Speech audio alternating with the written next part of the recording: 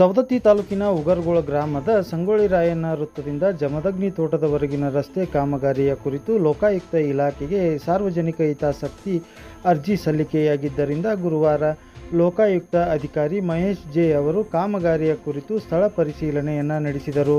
ಜವಳು ಪ್ರದೇಶವೆಂದು ತಿಳಿದಿದ್ದರೂ ಅಧಿಕಾರಿಗಳು ನಿರ್ಲಕ್ಷ್ಯ ವಹಿಸಿ ಅಗತ್ಯ ಕ್ರಮಗಳನ್ನು ಕೈಗೊಳ್ಳದೆ ಕಾಟಾಚಾರಕ್ಕೆ ರಸ್ತೆಯನ್ನು ನಿರ್ಮಿಸಿ ಕೈ ತೊಳೆದುಕೊಂಡಿದ್ದಾರೆ.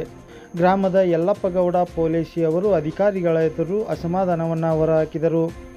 ಎರಡು ಪಾಯಿಂಟ್ ಒಂದು ಕಿಲೋಮೀಟರ್ ರಸ್ತೆಯ ಸುಮಾರು ನಾಲ್ಕು ಕಡೆಗಳಲ್ಲಿ ಮಣ್ಣನ್ನು ಸಂಗ್ರಹಿಸಲಾಗಿದ್ದು, ಪರೀಕ್ಷೆಗೆ ಕಳುಹಿಸಿಕೊಡಲಾಗಿದೆ ಜೊತೆಗೆ ಎಲ್ಲ ರೀತಿಯ ಅಳತೆ, ಚರಂಡಿ, ಸಿಡಿಗಳ ಕುರಿತು ಮಾಹಿತಿ ಪಡೆದ ಲೋಕಾಯುಕ್ತ ಅಧಿಕಾರಿ ಮಹೇಶ್ ಜೆ ಅವರು ಗುತ್ತಿಗೆದಾರರಿಗೆ ಗುಣಮಟ್ಟದ ಕಾಮಗಾರಿ ನಡೆಸುವಂತೆ ಸೂಚಿಸಿದರು. ಈ ವೇಳೆ ಬೆಳಗಾವಿಯ ಜಿಲ್ಲಾ ಪಂಚಾಯಿತಿಯ ಕಾರ್ಯಪಾಲಕ ಅಭಿಯಂತರ R P Khanapuri Mahesh Hooli B N Siddakkanavar ಗುತ್ತಿಗೆದಾರ ಉಮೇಶ್ ಅಂಗಡಿ ಉಮೇಶ್ ಹೊಸಮನಿ ಸೇರಿದಂತೆ ಇಲಾಖೆಯ ಸಿಬ್ಬಂದಿಗಳು ಉಪಸ್ಥಿತರಿದ್ದರು. ಮತ್ತೆ ಮೆಟ್ಲಿಂಗ್ ಏನಾಯ್ತು?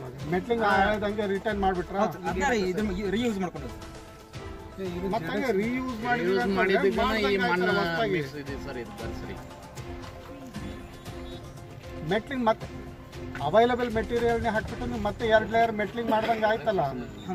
ಏ ಅವೈಲೇಬಲ್ ಇಲ್ಲ ಸರ್. ಅಲ್ಲಪ್ಪ ಇಲ್ಲೇ ಮೆಟೀರಿಯಲ್ ತೊಗೊಂಡು ಇಲ್ಲೇ ಹಾಕಿದ್ರಿ ಅಂತಂದ್ರಲ್ಲ.